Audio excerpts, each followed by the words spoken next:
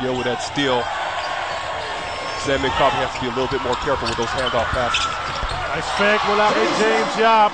In the lane, got the big guys flying and took that shot. This is the type of confidence we have to see from James Yap. I mean, he's pretty, you